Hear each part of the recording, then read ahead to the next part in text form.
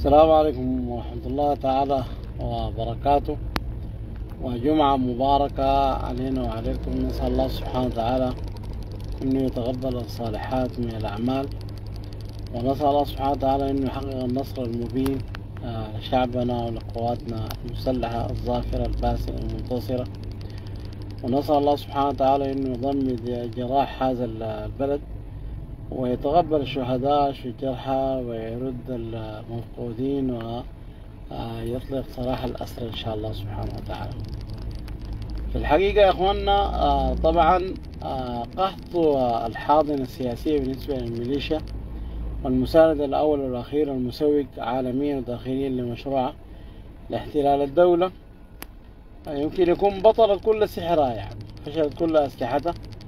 اللي قصدت تغزو بها البلد عن طريق هذه الميليشيا مدفوعة الأجر من الخارج في الحرب المباشرة على البلد. يمكن يكون إحنا بقينا زي الكورونا كورونا واحد وكورونا اثنين.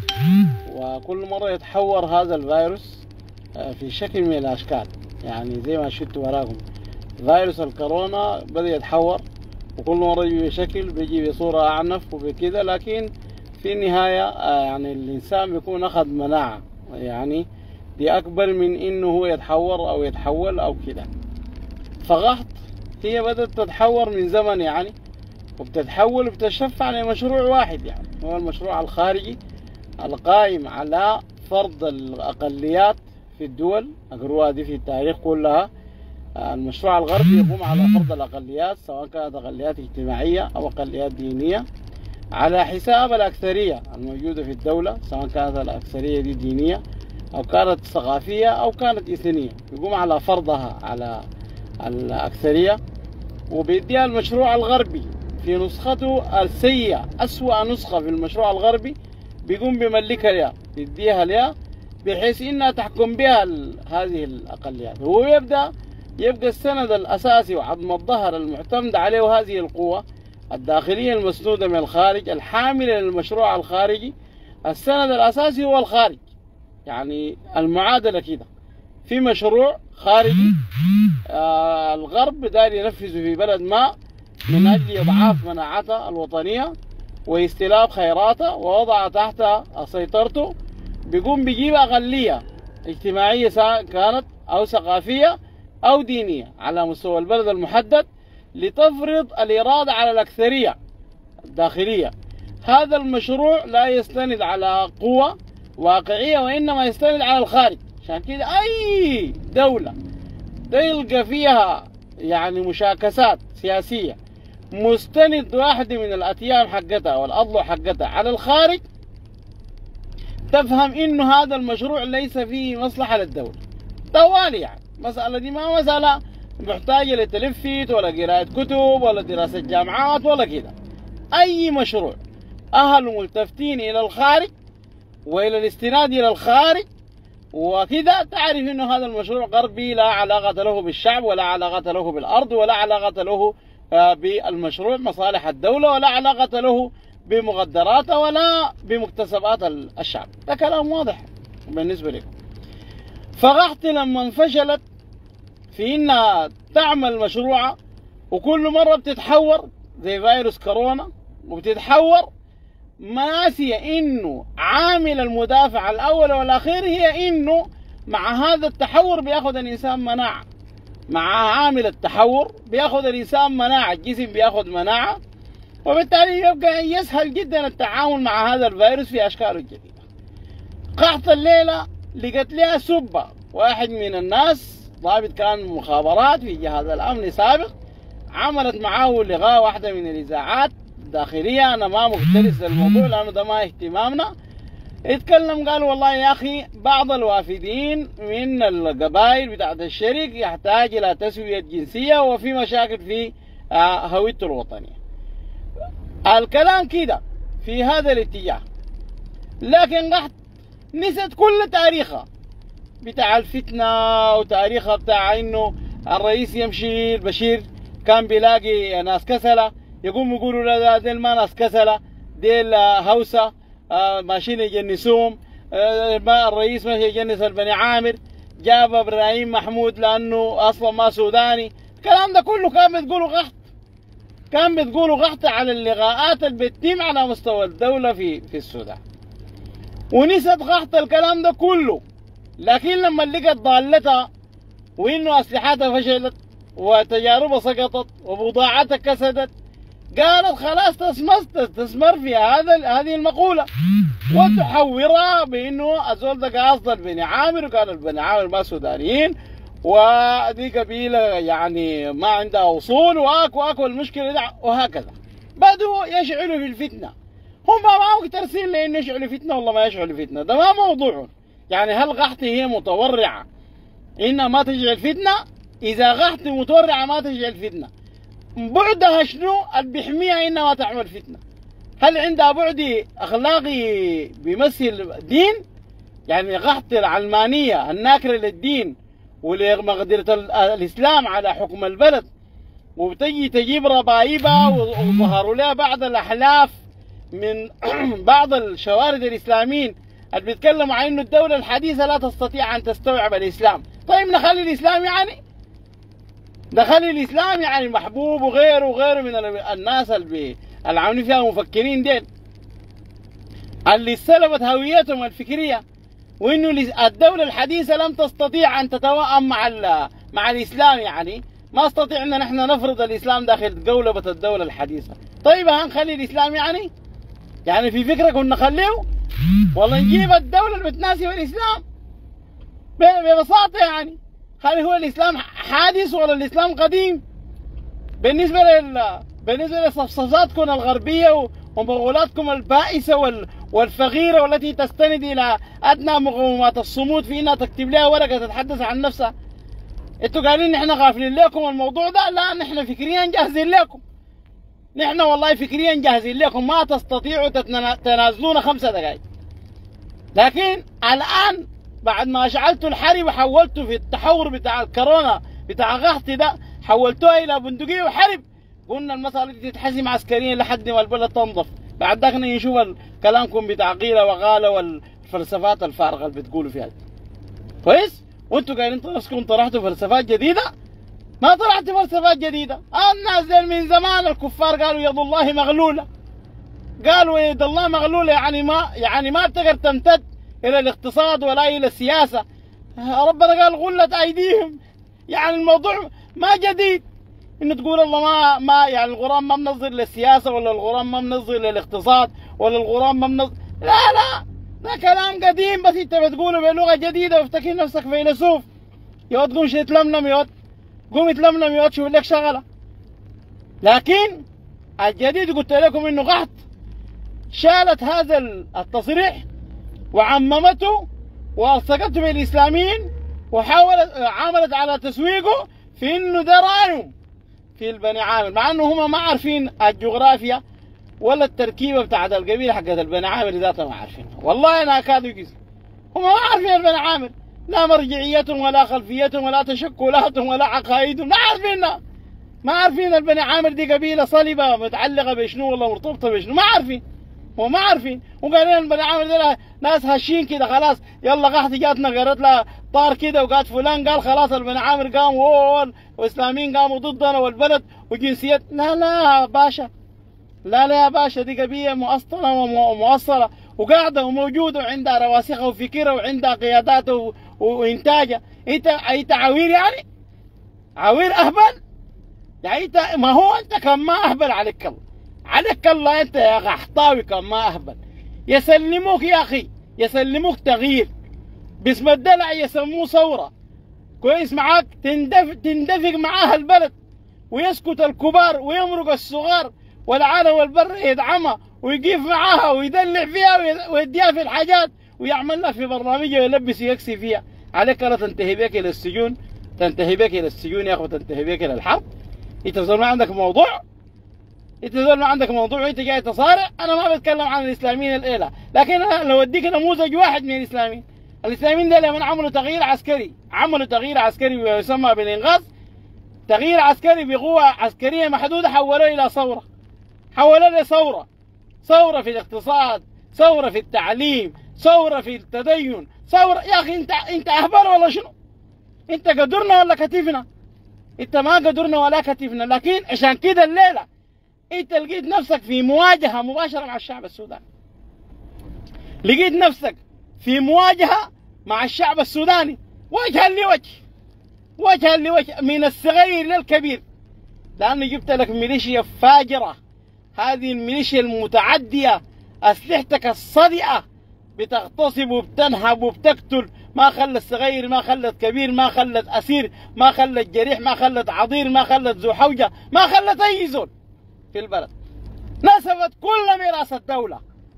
كل ميراث الدولة لأنه شعاركم كان قلت يا نحكم نحن يا نفكك طوبه طوب كل ده شعاركم أنتوا اشتغلتوا عليه. أنتوا فاكرين نفسكم بتفتنوا الموضوع ده؟ واول زول بذل الفتنة في الشرك. أنتوا سعيتوا إلى ضرب مؤسسات الشرك باختطاف اتفاق مكتوب في جوا ما بين طرفين. طرفين الدولة وطرف ثاني وخليتوا البلد كلها شرك خلوه خليتوه يحترم لكن الشرك كان فيه وعي كان فيه اساطين وفيه رجال. ورغم الفتنة اللي انتشرت ورغم إنكم زرعتوها وحاولتوا تعججوها لكن الناس قدروا حاصروها وقدروا قدروا حجموها. نحن داير أقول لكم يا جماعة شوفوا البلد السودان ده نحن بما نعتبر فيه حق المواطنة ده أمريكا إذا أمريكا الكافرة اجت على أنقاض سحل الهنود الحمر وأسست لها دولة. السودان قبل قبل قبل أمريكا مؤسس ب 600 سنة. مؤسس قبل أمريكا العجبه ب 600 سنة. عنده حضارة وعنده تاريخ وعنده دولة وعنده ميراث. لكن ما جهلة أنتوا أنتوا جهلة. جهلة وعملاء الجاهل دائما يسهل استغلاله. الجاهل يسهل استغلاله يسهل توظيفه. عشان كده يوظفكم ضد البلد. وظفوكم واشتروكم دراهم معدودة وكانوا فيكم من الزاهدين. وكانوا فيكم من الزاهدين والآن تراجعات قدر ما تتراجع الميليشيا من الميدان ويتم سحلها وسحقها من قبل القوات المسلحة والمشتركة القوات المشتركة معها. كلما يتراجع الغرب من دعمكم وإسنادكم وكلما تسيحون في الأرض بغير دليل. كلها شغالين كده. نحن ما الناس اللي الآن بتناقشونا في الدولة ومواطنتها. نحن أي زول قاعد في البلد دي مواطن وقاعد ومواطن أصيل وقاعد. في البلد دي. والبلد دي نحن يا جماعة قلنا لكم بلد دي ميراث زول بيركب من أقصى أقصى الغرب من أقصى الشرق من أقصى أي حدود. بيركب بيجي شاي شنطه بينزل في الطرف بيقعد شوية بيكرموه بينزلوه في ديوان العمدة لأنه ضيف بعد شوية بيزوج بنت العمدة بعد شوية بيفتح عليه خلوة بعد شوية بيعمل له مسيد بعد شوية بيبقى الشيخ بعد شوية بيبقى ولده بيبقى بيبقى وكيل الناظر بعد شوية ولده بيبقى الناظر. ما عندنا مشكلة في الموضوع ده. كله كله. ولا في معانا في الموضوع ده. لكن لأنه أنتوا اللي بتعانوا في الموضوع ده. لأنه الدولة الغطريه حاكماكم. إنه دي أخطار مربوطة ببعض. وكل دول عنده حدود وعنده طريقته. والدولة اللي أوهمكم بها الدولة الغطريه دي هي اللي عملوا الفتن بين الدول. هي اللي عملوا الفتن الحدودية بين الدول. وعملوا الإشكالات والتقاطعات بين الدول. بالشيء الحاصل ده. لكن أنتوا جهلة. أنتوا جهلة يا أخي. أنتوا خرق. أنتوا ما بتعرفوا. أنتوا لا بتعرفوا تقروا ولا بتعرفوا تدرسوا أنتوا يا أخي ما بتعرفوا الضرر ذاته. والله أنا اكاد اجزم كلام ده أنا قلته سنة آه العام 2004 في جامعة شدني في ركن النقاش. قلت والله اليسار ده لو داير يضر ما يعرف يضر.